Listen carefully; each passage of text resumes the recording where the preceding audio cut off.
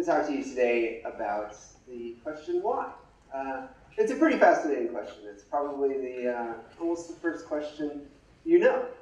Um, you ask your parents, why is the sky blue? Why do clouds form? Um, why does this vegetable look the way it does? Uh, you might get the right answer from your dad. Um, and when you do, that's a nice thing. Uh, but it's also a lot of fun for your dad. But the point is, uh, you know, when you're a child, everything's new. You have an endless curiosity, and that's sort of your full-time job. You see the eyes through the world of a child's eyes. Um, and that's really amazing because literally it is your full-time job to be creative. And that's what's uh, really lovely uh, because as you age, there's something very interesting that happens. Um, you know, you you, become obsessed with your work. You have school. You have a mortgage. You have children. Um, all these things really distract from your once full-time job of being curious and being creative, uh, which is a little sad because throughout life, your full-time job is to ask why. Why is the world this way?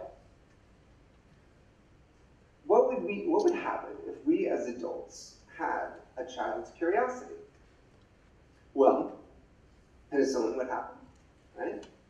Um, that came from an adult acting like a child, asking why. Why do we have to treat patients with you know things that don't work? Why can't we design something that absolutely works?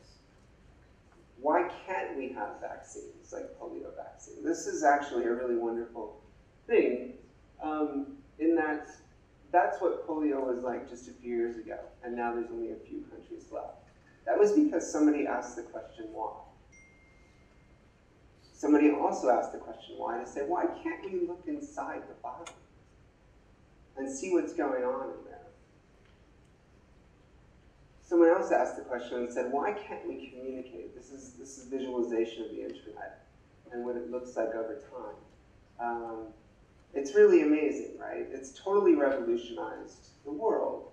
And in so many ways, I'm trying to ask the question, why?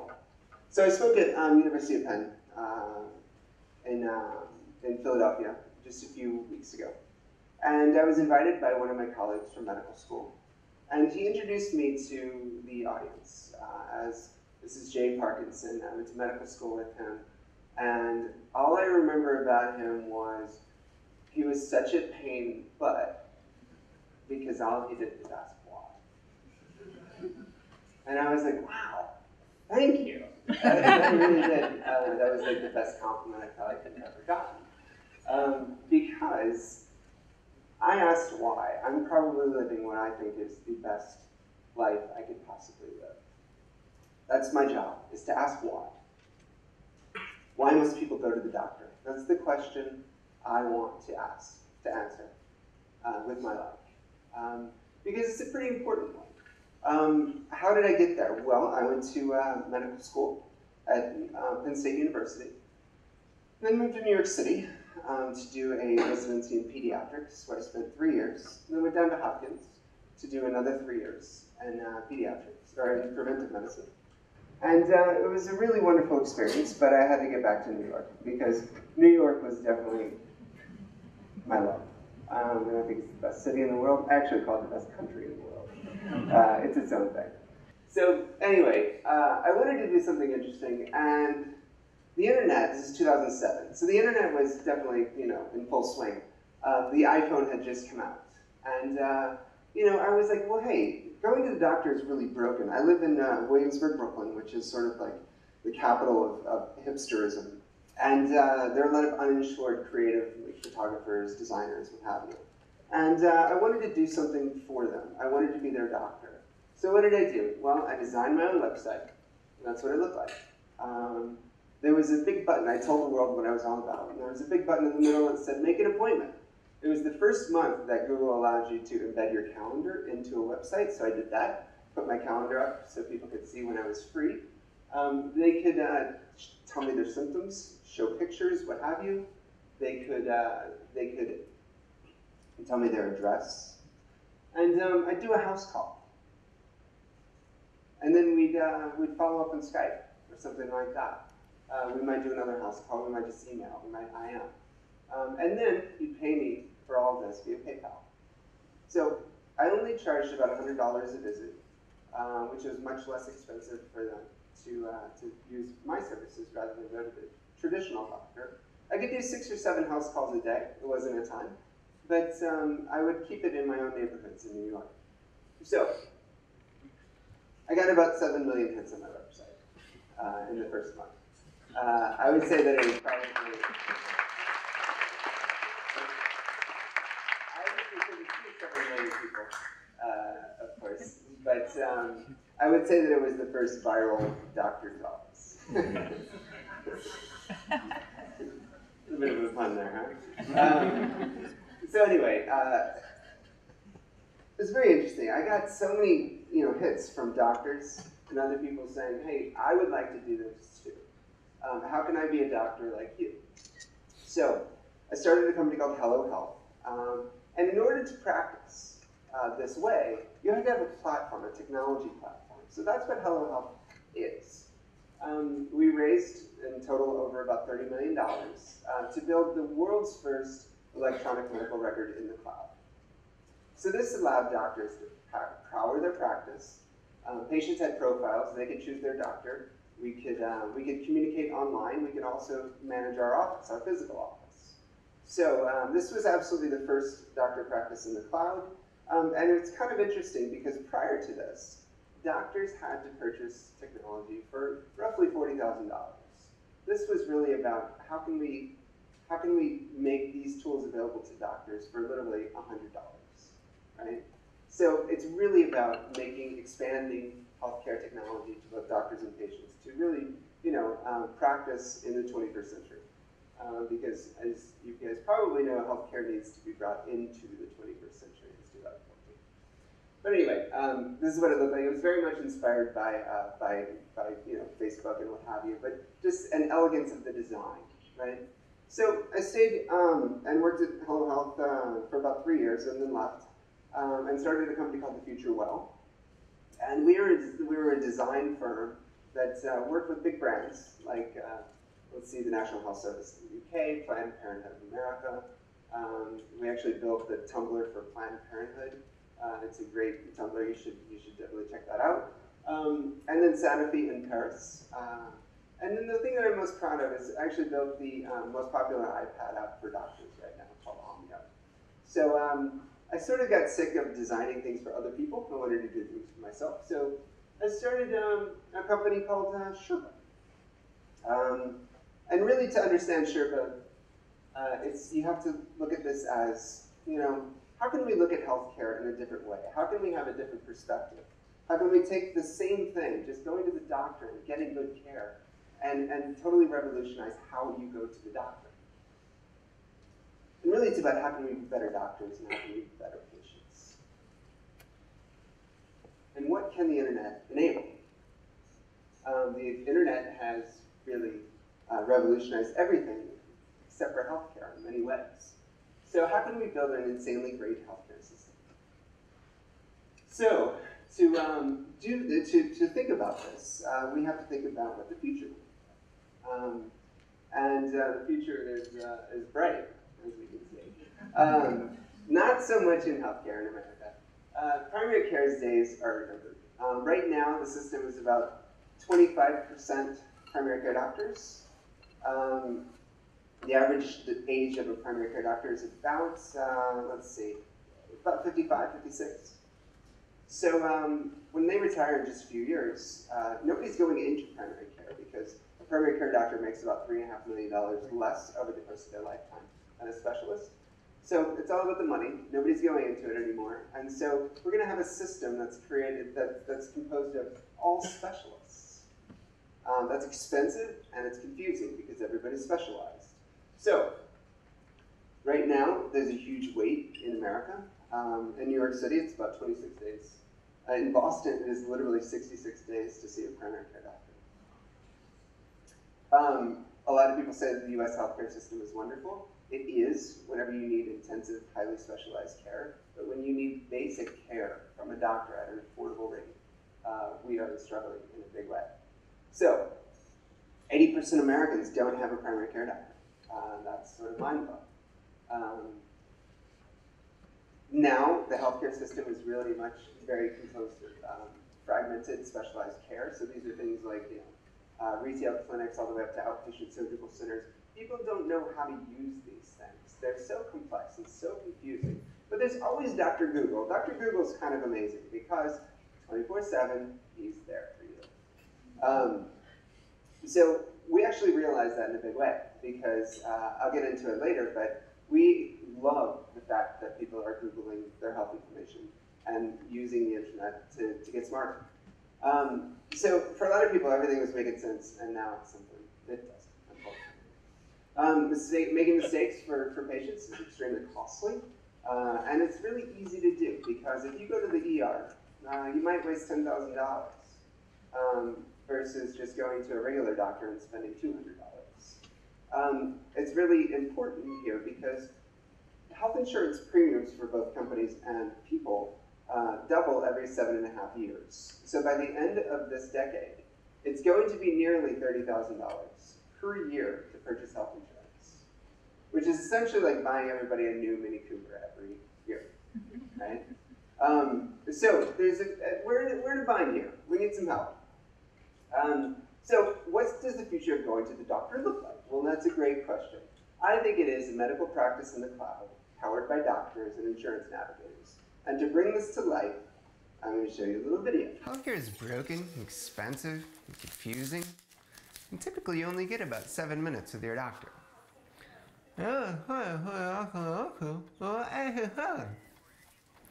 Wouldn't it be nice if you didn't have to go through this every single time you have a health issue? Welcome to Sherpaa, a new kind of healthcare, where medical professionals and insurance experts here to take care of your health, online and offline and around the clock. Our doctors and guides know they can communicate faster and easier than ever. Reach them via web, phone, or app. You get better access to health wherever you are, day or night. Best of all, it costs you nothing. It's a service provided for you along with your health insurance. Our doctors aren't just board certified skilled, and intensively trained. They're highly trusted and handpicked by Sherpaa to work full time for us because they know how to communicate the way you do. Here's how it works you ask a question about your health. Our doctors respond with the help you need in minutes.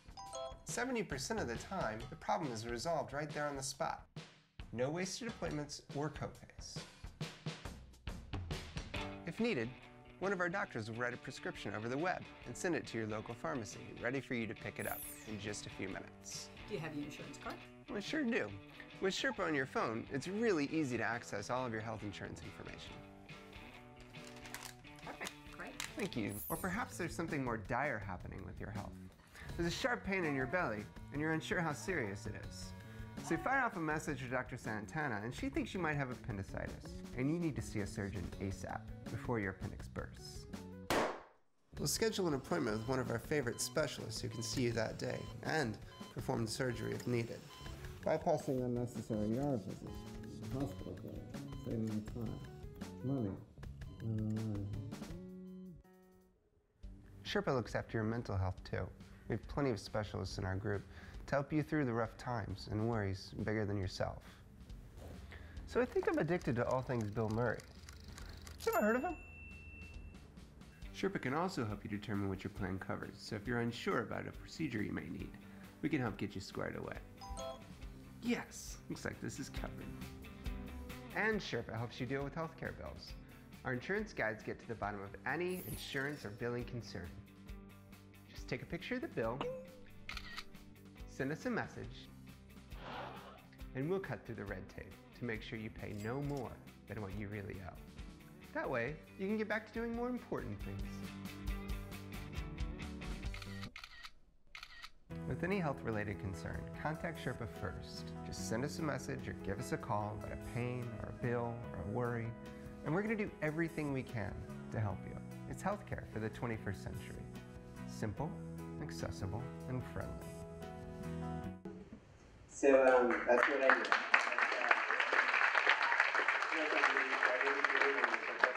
really bring it to life, this gentleman uh, reached out to us in our early days, and he, uh, he was complaining of classic appendicitis. Uh, we forwarded this message on to our, um, our, our, general surgeon, who's in the West Village, just a, a few blocks away from this gentleman. And um, Dr. Goldstein said send him right over. So we sent him over. He examined him, thought it was appendicitis, confirmed it on CAT scan. They set him up a room as part of his outpatient surgical facility where he laparoscopically removed this guy's appendix. And then three hours later, he was doing well. He sent him home on oral antibiotics. So the span of six hours, he reached out to us and was back home minus an appendix. That was about 20% of the cost of what it would be if they went to the ER and the regular hospital, right? Instead of $100,000, it was $20,000 And it was simply because of an email. You know, it was simple online communication coordination to really, you know, ramp up a team to help this guy get better at a fraction of the cost. Um, so this is how it works. This is our app. You just choose, I'm sick, I'm hurt, that sort of thing. Um, you fire up a, uh, a, you know, you tell us your story and your history. And 98% um, of the time, it's just asynchronous messaging, very similar to just email that happens within our app. Um, so our doctors read your story. Uh, we'll ask a lot of questions, um, and we will, uh, we will obviously diagnose and treat. Um, only about 2% of the time uh, we jump on the phone. That's more for urgent issues, but it's actually very rare. Um, so after taking a history from you, we will sometimes order blood tests. We'll sometimes order x-rays. Um, we will get those results back, which is really, um, and, and it, uh, you know, it's a matter of just an hour or so in getting those results back. Um, sometimes, though, we have the luxury as doctors who have an online connection to you to say, you know what, we actually don't know what's going on right now, but let's reconnect in four hours, see how you're doing, check in, and if you're better, great. If you're not, well, let's take it to the next level. You know, we have that luxury whenever the whole healthcare system is designed around the primary care doctor's office visit or the emergency room, you can't do that. We have a direct connection to people at all times. Um, so, you know, once we get those results back, once we figure out what's going on, we will definitely diagnose and treat. Um, and if we can't do this, we connect you with exactly the person you need to see. So 30% of the time we say, you need to see a neurologist. Her name is Dr. Smith. She is in the West Village, and we've made an appointment for you tomorrow. So that happens about 30% of the time. Um, so you can think of us as a filter, right? We filter all those things that really need to happen, you know? And whenever they get through us, they're always appropriate and always with the exact person that's best suited for your care. So um, that means, for a company who's paying for this, um, there's a 70% decrease in doctor visits and therefore claims for a company. So what that means is people on average reach out to us about three times a year. That's how many times people actually go to the doctor on average. Um, that means uh, if we could solve 70% of those things, essentially two out of those three bills go away. Each interaction with the healthcare system is worth about, on average, $900. That's the $100 doctor visit all the way up to the $10,000 ER visit. On average, it's about $914. Um, so we eliminate two, three of those, so for an investment, a small investment from the company, we save a ton of money for the company. So 90% um, of a company will sign up with us. So for example, we only contract with companies. And then we get their employees to sign up, and then they want to use us because, you know, why not, right? 90% um, of those people will regularly use us on a yearly basis. Um, we're always open. We're 24-7. Uh, you can always reach out to us. Our doctors are always there. And because we're doctors, we'll handle everything from just the cold to the skin infection all the way to diabetes and appendicitis. We'll handle everything. We're not a nurse center. Um, we will do as much as we can to treat. And, um, you know, we'll make sure that you get exactly what you need. So, like I said, uh, companies are our clients. Uh, right now, we cover Tumblr, Etsy, Meetup, um, the largest luxury brand in, in America, um, Freelancers Insurance Company, um, and about 140 uh, companies now. We're about two and a half years old. Um, we're in New York City. Uh, we're in four states right now, and by the end of the year, we're going to be in about 35. So, pretty exciting. Um, it's really just about making healthcare appropriate, accessible, and affordable for everybody. Uh, right now, the average premium increase for a company is about 8 to 12 percent. Uh, with Sherpaa, after spending a year with us, it's about 2 percent.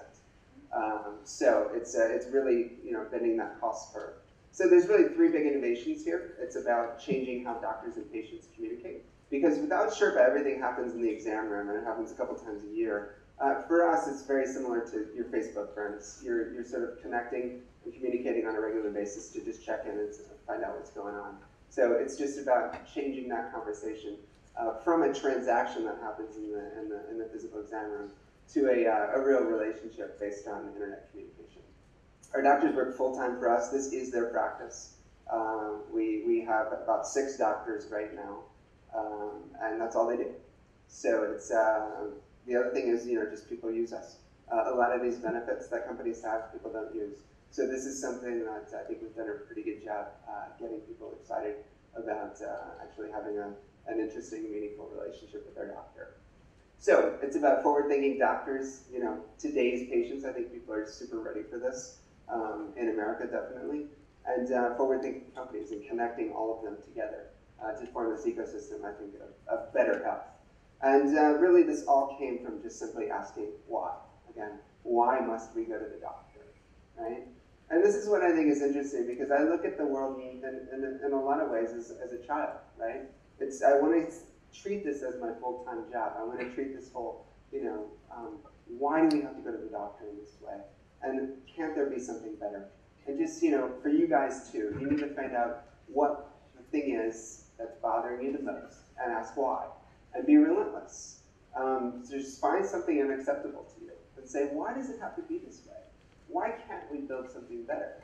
And you know, that's the thing. The whole I think our whole mission in life is to make something better, make life better. So that's all I'm asking you guys to do. Just to create something that like looks inside our body. That's amazing, right? It's still amazing that this exists. Create that, make it better. Create that, um, create your own Sherpaa. So uh, thank you very much. I appreciate it.